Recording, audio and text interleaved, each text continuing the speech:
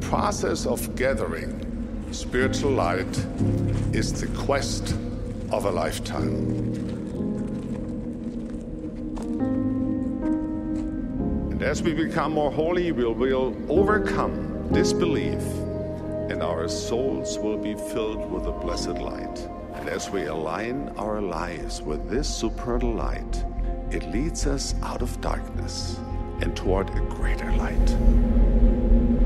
Ye shall seek me and find me when ye shall search for me with all your heart.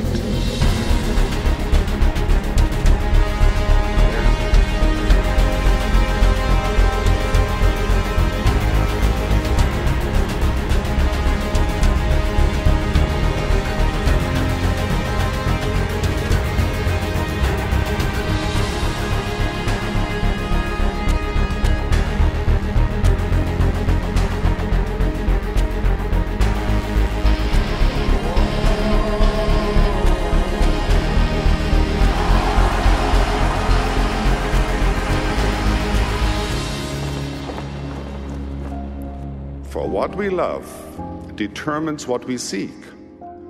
What we seek determines what we think and do. What we think and do determines who we are and who we will become.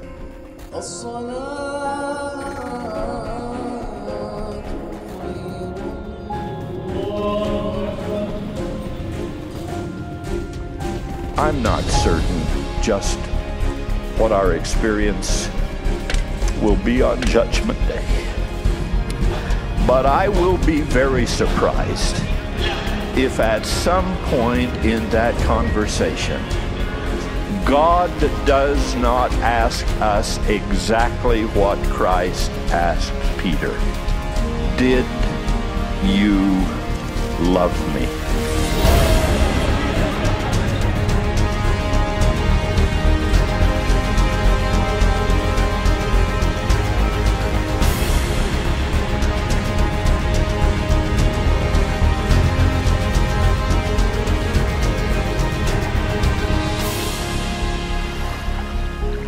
In this world, everyone is to walk by faith.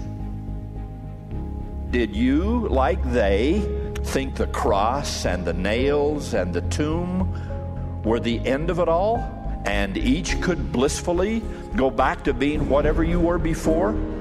Children, did not my life and my love touch your hearts more deeply than this?